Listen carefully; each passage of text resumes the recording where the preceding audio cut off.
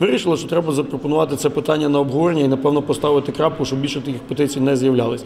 Особисто я, е, якби голосував, я не підтримував би перейменування наразі парку Чекмана в будь-яку іншу назву. Я вважаю, що є набагато більше наразі проблем, якими варто займатися. В першу чергу, ми зараз турбуємось про те, щоб парк Чекмана зробити парком, який би відповідав би статусу центрального парку міста Хмельницького.